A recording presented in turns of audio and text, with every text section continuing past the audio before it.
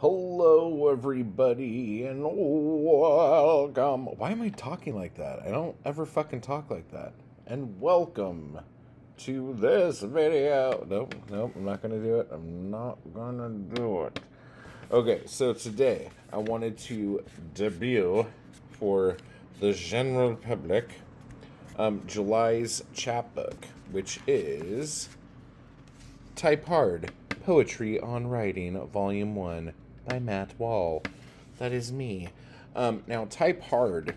Um, this is, again, the first volume. And in this little thing here, there are four volumes that are already written and have been released.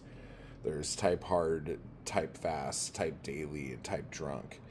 And um, last summer, when I started the Poetic Anarchy course, um, I gave PDFs of these out to the people who were taking the class.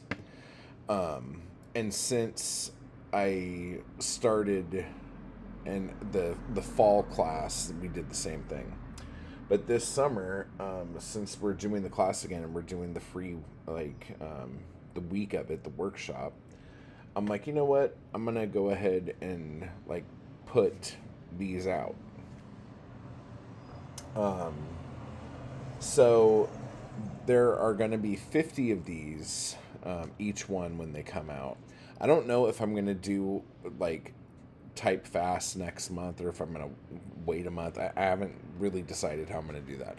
But I'm going to put these out. Now, these are not how to write.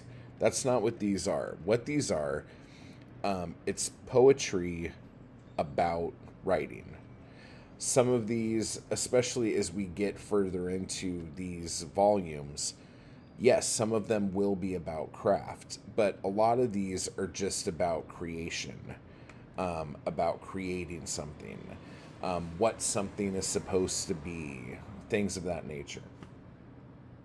So, um, this one is up now on my Etsy shop, and if you could tell, I don't know if you can um, I got this card stock when I was doing a live stream, and um, I opened it. I'm like, oh, can you guys see? But it's an antique white um, cover. They they're so pretty. I really, I, ugh, I love it.